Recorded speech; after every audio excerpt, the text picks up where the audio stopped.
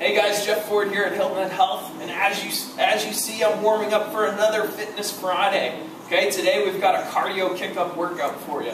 Um, what we're going to do is we're going to alternate using this treadmill and between two strength training moves. Okay, the first move is thrusters. The second move is kettlebell swings. I'm going to demonstrate all of those in a second, and then I'm going to actually do the first round of your workout what you're going to do is three rounds of this, three rounds for time, and I want you to post your results because it's, it's Fitness Friday once again.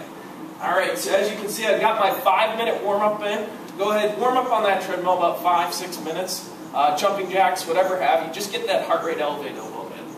Okay, so I'm going to slowly come off out of my warm-up.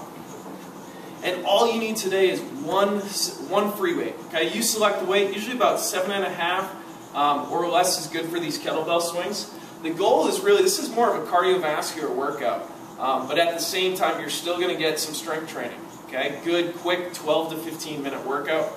First move, after you do 60 seconds on the treadmill, 60 seconds at a challenging pace, okay? I want your rate of perceived exertion at about a 6 or 7. Then you're going to hop off after that 60 seconds, and we're going to get into thrusters, okay? So weight are in your heels for this. That's always our safe cue when we're about to do a squat. Knees are behind the toes at all times. Okay, elbows up. Um, depending on flexibility, will your elbows will fluctuate, so don't worry. Just try to keep them out in front as best as possible. And as you squat down, you're going to press that weight up. Okay, so exhaling, pressing that weight straight up to the sky. All right, so you're going to do 15 of those. Okay, weight is back in those heels, push those hips back. Right after you get done with all 15 of those, reverse that grip. Okay, so you're going to put your palms under the dumbbell. All right, and we're going to get right into kettlebell swings. All right, and as you see, I've got my typical kettlebell gear. Most gyms aren't going to have these, so go ahead and just use the dumbbell. That way you can move through these, these exercises as quick as possible. All right, so for the kettlebell swing, my palms are just loosely kind of grasping this dumbbell here. Feet are a little wider than shoulder width. Okay, kind of bow the toes out a little bit. And you're going to push those hips back again, just like you're in a squat. Okay, get this weight rocking. And you're going to toss it up. All right, nice and gradual. Okay, so you're going to use that big hip pop to get those arms up there. Keep the arms locked out the entire time.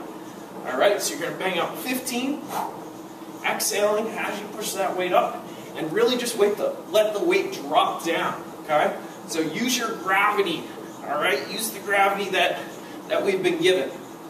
All right, so 15 there, 15 thrusters, 60 seconds on the treadmill.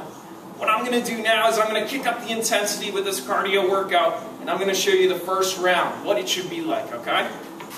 So I'm going to hop back up on our nice Woodway treadmill here. And I'm still at that warm-up pace, okay? So I'm going to take a minute, 30 seconds regroup for what's about to go down.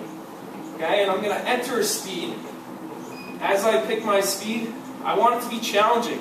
I want it to be a pace that is going to push me for that 60 seconds, okay? So I'm going to put it right, right at a good challenging pace for myself. Hit enter, and we're going to start the 60 second clock. All right? Try to keep your incline at a 5% grade or less.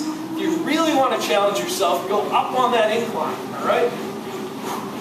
So 10 seconds in, I'm just pushing hard, all right? Pushing hard. Landing on the balls of my feet as I run, okay? Not trying to strike from the heel. Keeping it going. Woo! Almost 30 seconds down. First round. Going hard man, good thing, good thing there's a Friday in every week, so we get to have these Fitness Fridays. So keep pushing, pushing hard. We've got about 20 seconds left. If you're feeling good, go ahead. Increase that pace a little more. You want to be pushing for 60 seconds. It's only a minute. Five, four, three, two, and time. Good. So I'm going to slowly come off and right back to my dumbbell. I'm going to start the thrusters. Elbows up, weight in the heels. One, two, three. Keep breathing. Four, five, six, seven, eight, yes, nine, ten, five more, five, four, three, two, one. Good. Reversing the grip into the kettlebell swings, into my stance. Here we go. One, two, big hip hop. Three, woo. First round almost done. Five, six, seven, eight, nine, ten. Five more. Five. Count with me if you want. Four, three, two, and time. Woo! All right, so that's the first round of your Fitness Friday cardio kick-up. What I want you to do, I'm going to do it myself. Rest for 90 seconds, okay? 90 seconds to two minutes. Really take your recovery period here. This is a form of interval training. Okay, after that 90 seconds is up, or two minutes, whatever you choose, pop back on that treadmill, challenge yourself.